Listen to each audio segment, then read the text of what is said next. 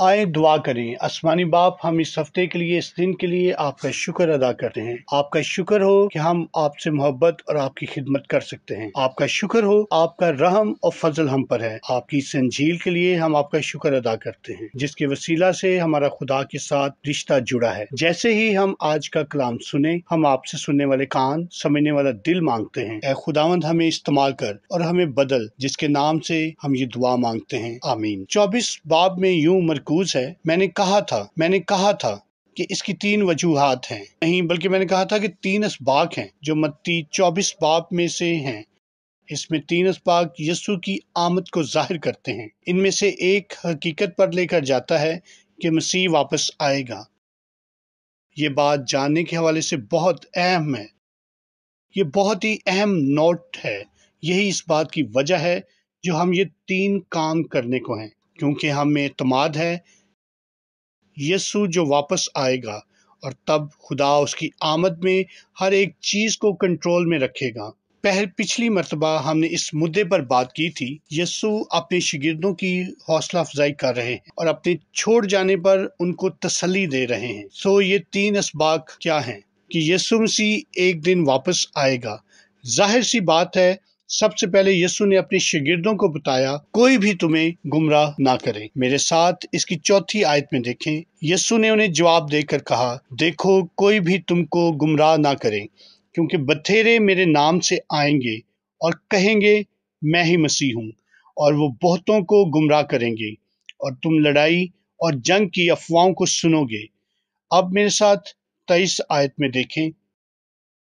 उस वक्त अगर तुमसे कहे कि देखो मसीह यहाँ है या वहाँ है। तो यकीन ना करना, क्योंकि झूठे मसीह और झूठे नबी उठ खड़े होंगे और ऐसे बड़े निशान और अजीब काम दिखाएँगे कि अगर मुमकिन हो तो बरगजीदों को भी गुमराह कर लें।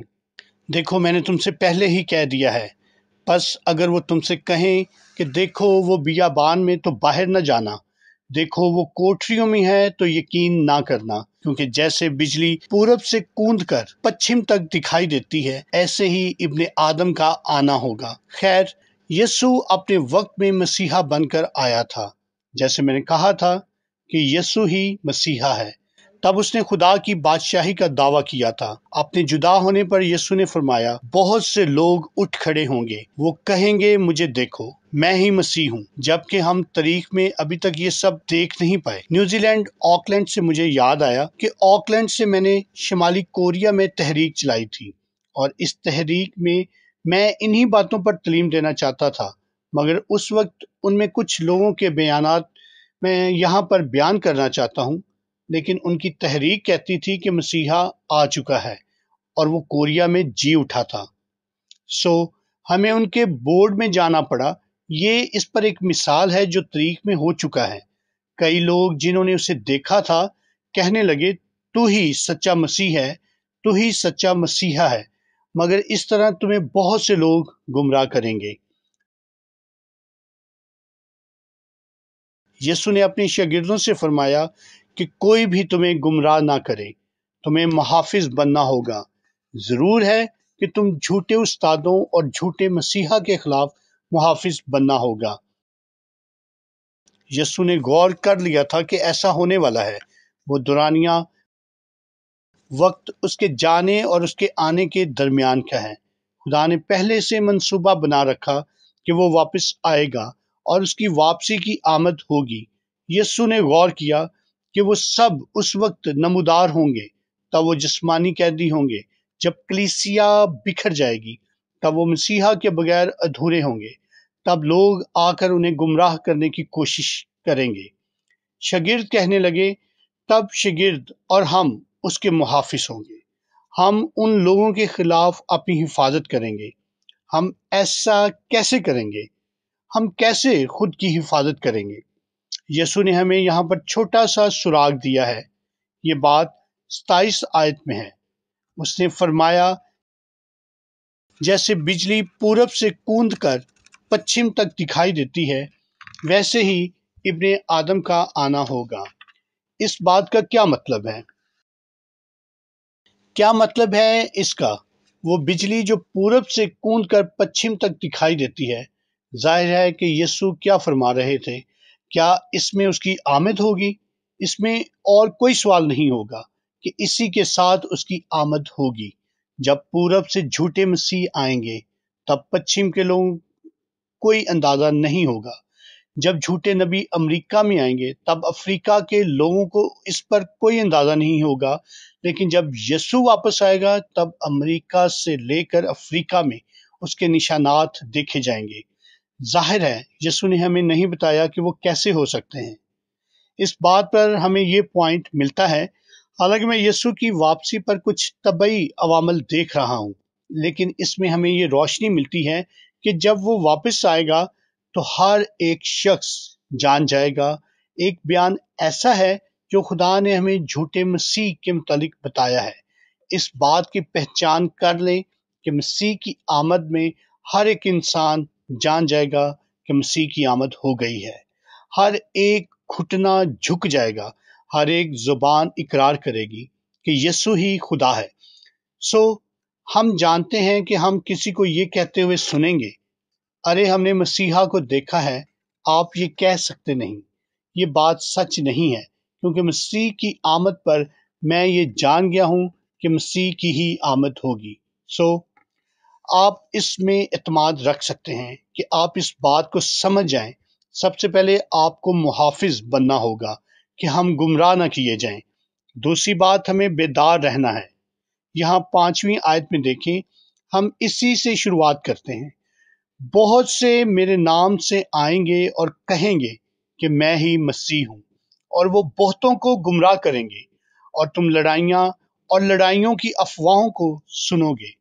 खबरदार, घबरा ना जाना, क्योंकि इन बातों का वाक्य होना ज़रूर है। लेकिन उस वक्त खात्मा ना होगा, क्योंकि कौम पर कौम और सल्तनत पर सल्तनत चढ़ाई करेगी और जगह जगह काल पड़ेंगे और भुंचाल आएँगे। लेकिन ये सब बातें उन मुसीबतों का शुरू होंगी। उस वक्त लोग तुमको एजाज देने के लिए पकड़वाएँगे और तुमको कत्ल करेंगे और मेरे नाम की खातर सब कौमें तुमसे अदावत रखेंगी। यस्सु हमें क्या बताते हैं? यस्सु हमें ये बताते हैं कि ये सब वाक्य होगा। ज़रूर है कि तुम ये सब सुनोगे और तब ये मुसीबतों का शुरू होगा। लोग मुझसे पूछेंगे, क्या तुम्हारा ख्याल है ये कोरोना वायरस इसलिए कौमों में आया है? क्या आप ये सोचते हैं कि तब सबका खात्मा होगा? क्या ये वो निशान है जब यसु आएगा? जब दुनिया में कौमों को एक दूसरे से लड़ते हुए देखोगे, तब तुम सुनोगे। कि वायरस फैल गया है। तब आप बीमारियों, वबाओं, जल्जलों के बारे में सुनोगे। आप इन आजमाइशों पर सोचेंगे, शायद ये वही वक्त है। यसु ने फरमाया, घबरा मत जाना, ये सब वाक्य होगा। तरीक में जंगें, जल्जले, बीमारियाँ, वबाएँ और वायरस बर्पा होंगे। तब कोई शक नहीं होगा। खास तौर पर वो यसु की वापसी का वक्त होगा। तब कोई चारा ना होगा। आप तरीक को देखें और कहें कि अब यीशु की आमद का वक्त है। यीशु किस बात की तरफ़ इशारा कर रहे हैं? ये सब उन मुसीबतों का शुरू होगा, ऐसा बार बार होगा, लेकिन तब वो दिन आएगा जब यस्सु की आमद होगी। सो, जब हम कोरोना वायरस को देखते हैं, जब हम जल्जलों को देखते हैं, तब हमें घबराना नहीं चाहिए। यस्सु ने हमें इन तमाम बातों के बारे में बता दिया था कि ये सब होने वाला है। हमें परेशान नहीं होना चाहिए हमें डरना नहीं चाहिए। लेकिन इन सब में क्या करना चाहिए? वो क्या बातें हैं जो हमें तसल्ली देती हैं और हमारी हौसला अफजाई करती हैं? क्योंकि उसने हमें बता दिया है कि ये सब होगा। ये बात थोड़ी बहुत ऐसी है जब आप बच्चे होते हैं और आप अपने वालदेन के साथ कहीं पर जाते हैं। वो आपको बताते हैं कि अब क्या होने वाला है। क्या हम मॉल में जाने वाले हैं? जब हम मॉल में जाएँगे तो वहाँ पर कुछ लोग ऐसे होंगे जिनके साथ बाहर एहतजाज करने वाले होंगे। लेकिन परेशान मत होना। हम इन एहतजाज करने वालों के दरमियान में से गुजर कर मॉल में दाखिल होंगे। जब बच्चे की हैसियत से आप उस बात को समझेंगे तो आप वहाँ पर उन एहतजाज करने वालों को देखेंगे। हो सकता है वो खौफ से भरे हों, या वो थोड़े बहुत खस्ता हालत हों। अगरचे वो खौफ से भरे हों, तब उन्हें देखकर तुम्हें एतमाद आएगा। क्योंकि आपके वालदेन ने आपको बता दिया होगा कि ये सब होगा। बिल्कुल ऐसा ही है। जब मसीह की आमद होगी, जब हम कोरोना वायरस को देखते हैं तो हमें उस चीज़ से भर जाना चाहिए, जो हमें तसल्ली हौसला अफजाई और यकीन दहानी करवाती है। क्योंकि यस्सु ने हमें बता दिया था कि ये सब होगा। फिर आखिर में जो पहले नंबर पर बात है, वो ये है कि हमें गुमराह नहीं होना। हमें खुद को महफूज रखना है। दूसरे नंबर पर हमें परेशान नहीं होना। लेकिन हमें ये यकीन कर लेना चाहिए कि ये सब इस कायनात में होने वाला है। और तीसरी बात यह है कि हमें किसी के शिकंजे में नहीं आना। अब इसके बाद यहाँ पर इस हिस्सा में छत्तीसवीं आयत में देखें, लेकिन उस दिन और उस घड़ी की बाबत कोई नहीं जानता। ना आसमान के फरिश्ते, ना बेटा। मगर सिर्फ़ बाप जैसा नू के दिनों में हुआ वैसा ही इब्न आदम के आने के वक्त पर होगा।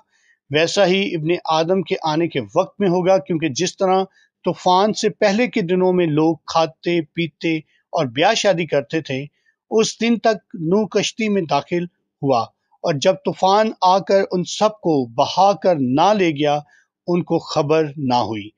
इसी तरह इब्ने आदम का होना होगा। अब बयालीसवीं आयत पर आते हैं, पस जागते रहो। क्योंकि तुम नहीं जानते कि तुम्हारा खुदावंद किस दिन आएगा।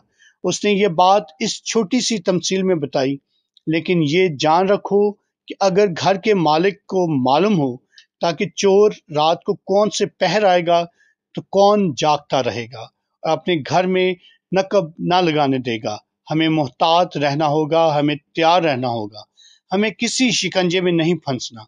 आप देखें, हम उन लोगों की तरह ज़िंदगी नहीं गुजारनी जिनको ये ख्याल नहीं कि क्या होने वाला है। हालाँकि हमें उन शगिर्दों की तरह ज़िंदगी गुजारनी है, जो यकीन के साथ जानते हैं कि एक दिन मसीह वापस ज़रूर आएगा।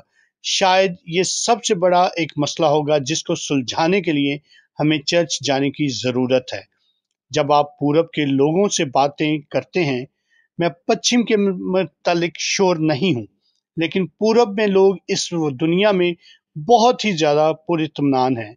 वो इस तरह अमल दरामद करते हैं, जैसे ये अस्सी, सत्तरवीं और नब्बे की दहाई में हो चुका है।